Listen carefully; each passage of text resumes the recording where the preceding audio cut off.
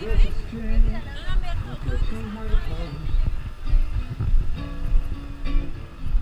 really, I just pulled the string. I'm the naked horse. Enjoy your time.